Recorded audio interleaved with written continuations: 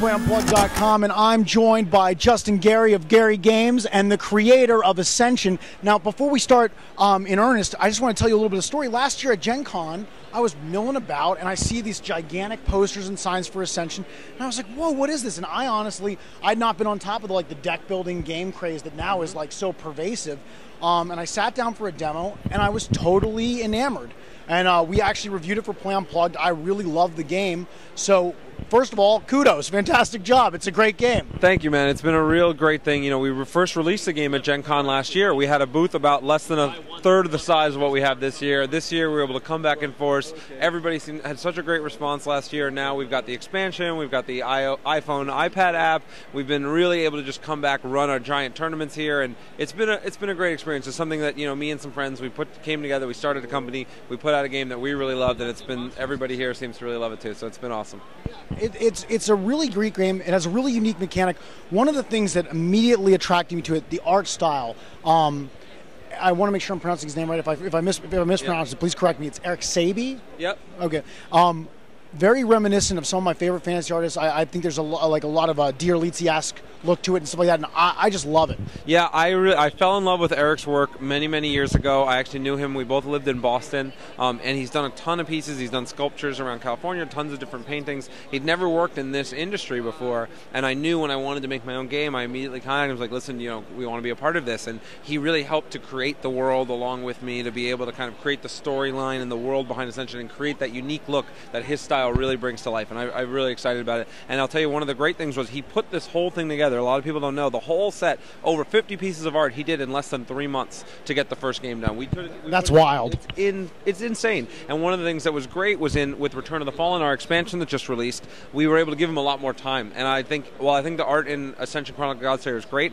Return of the Fallen blows that out of the water. He really was able to just really take his style to the next level, and it's awesome to see.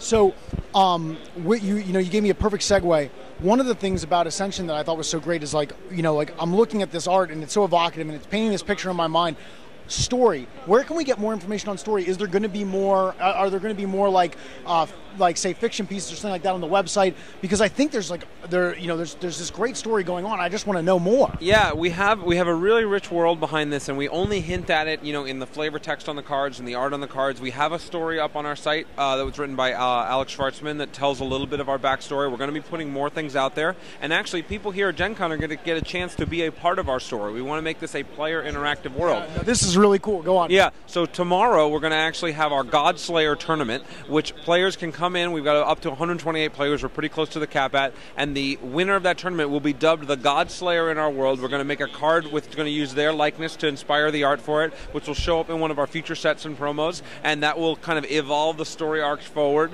Um, so the basic story that started up was, you know, Samael, this fallen god, has come to wreak havoc on the world, and you players are trying to become the Godslayer to be able to take him down. And in the expansion, you actually see Samael himself for the first time and can actually try to fight him. And so that's where we thought this one year later after releasing the game, this was a great place to be able to have that Godslayer tournament and let a player become part of our world. That sounds awesome.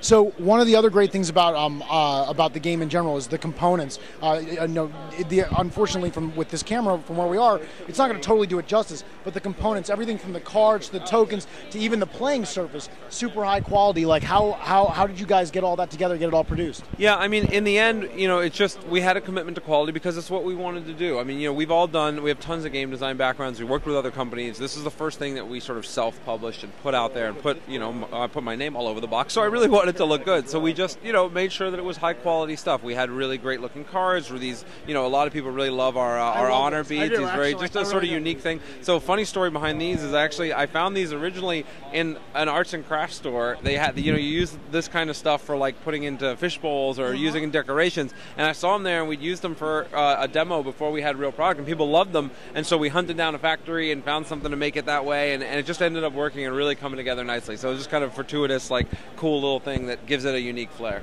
That's very cool. Now, um, for the people not in the card game know, Justin, you actually have a pretty good card game pedigree. Do you want to talk a little bit about your background? Um, sure, sure. I mean, I you know I used to play uh, Magic the Gathering uh, professionally for a while. I won a U.S. National Championships, won a Pro Tour, um, and you know won the World Team Championships. Uh, so you know I'd kind of been playing cards my whole life, traveled around the world as a kid, and you know made all my friends, and you know spent all my time thinking about it. And one of the inspirations behind Ascension was myself and other pros. You know, uh, Brian Kibler's in the Magic Hall of Fame, Rob Dougherty, um, were deciding we really wanted to make a game that could give you that experience of playing a TCG and building a deck without having to spend you know hundreds of dollars to build your deck or hours and hours and hours trying to like you know figure out what was going on.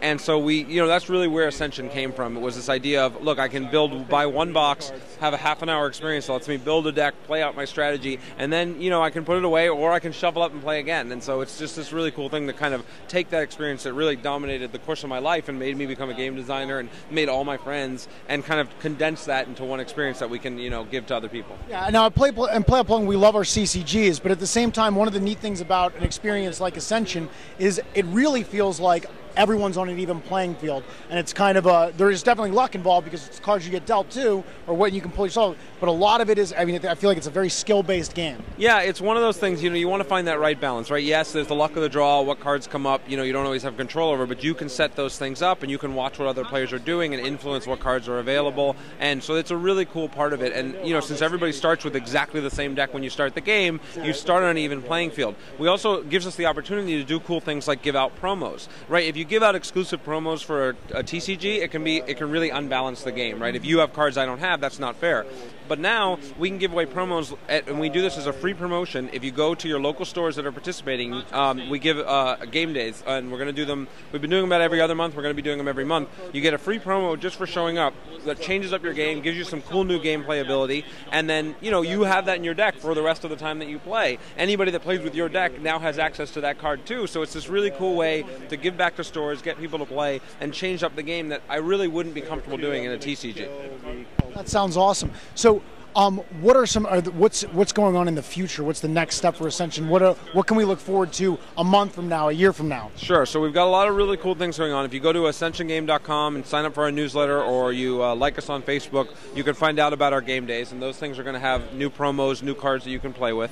In addition, we have a new expansion that we're just about to go to print on, which is going to be another big expansion uh, similar to the size of our original box, Chronicle of the Godslayer. So over 200 new cards, um, new mechanics, new card types, a lot of really cool stuff. We're really going to flourish and kind of expand what's available. Um, that one is going to be designed more to be played by itself. Uh, Return of the Fallen can be played by itself. It's a two-player game, but primarily we intend it to be combined with Chronicle of the Godslayer, shuffled together to play up to six players as sort of a one combined experience. The new one, sort of like a magic block system, will be designed to be played a big set by itself and then another small set to shuffle into that. But what we're really looking forward to is giving players the opportunity to custom create their decks. So now we only have, you know, two de- two piles of cards you can kind of shuffle together. Once we start getting another giant pile of cards, it's going to be hard to shuffle everything together. Yeah, absolutely. I actually that was going to be your next question, so yeah. it's perfect.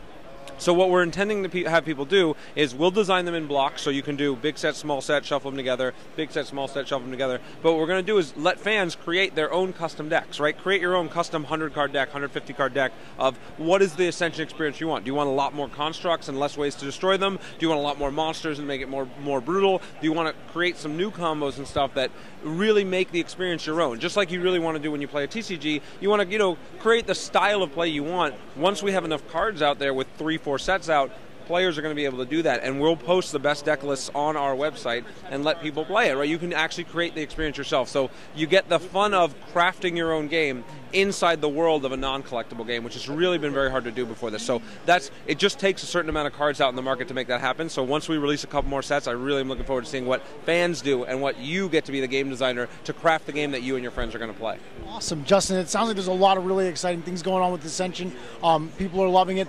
Any uh, final words for for the fans of Play Unplugged. Yeah, I gotta say, you know, it, uh, one of the things, you know, I know this is unplugged and this is non, uh, you know, non-electronic games primarily, but we have, you know, Ascension on iOS right now has been a huge hit for us. We, you know, it's a really great translation. We work with Incinerator Studios, a fantastic studio to make the game. You know, one of the goals of Ascension was to make take the deck building genre, where most of the games that are deck building games take an hour, hour and a half to set up and then play. Ascension only took half an hour to set up and play. Right, super fast, can bust it out, have a good time. On the iPhone, it takes five minutes to play. It's super fast, super clean. We're going to be releasing the expansion on the iPhone as an in-app purchase very soon. We're going to be updating it with new features. Um, so if you have that, you can play either against the AI, you can play with your friends either live or via you know push notifications like Words with Friends style, and it's just a really fun way to be able to connect and play the game in a whole new level. And we've really expanded out our audience to people who'd never played board games or card games before, and they're coming up to us at the show saying, "Oh, I checked this out on iPhone." and now I really want to play these board games. And so there's just a whole new world out there. So if you have a chance, check it out. Bring in your non-gamer friends, right? Convince them, oh no, it's just a little iPhone game, and then they'll get hooked and start playing card games too. Well, that sounds awesome. Anything that opens the door for more unplugged gaming, I'm totally, uh, I'm totally all for. So that's great, Justin. Thank you. Wonderful thank you interview. very much.